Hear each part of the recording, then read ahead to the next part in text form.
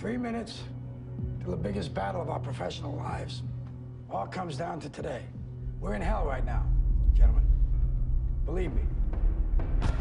The margin for error is so small. I mean, one half a step too late or too early, and you don't quite make it. One half second too slow, too fast, you don't quite catch it. The inches we need are everywhere around us. On this team, we tear ourselves and everyone else around us to pieces for that inch. We claw with our fingernails for that inch. Because we know when we add up all those inches, that's gonna make the fucking difference between winning and losing. Between living and dying. You gotta look at the guy next to you. Look into his eyes. You're gonna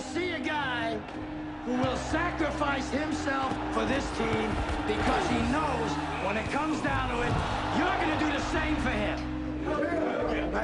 That's a team, gentlemen. And either we heal now as a team, or we will die as individuals. That's football, guys. That's all it is.